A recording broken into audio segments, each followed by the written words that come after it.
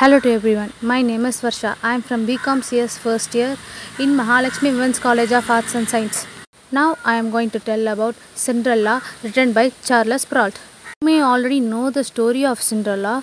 Many people saw the Disney movie or read a children's book for it. However, there are actually many different versions of Cinderella. This one by Charles Perrault is the most well known one and is often the version told to the children.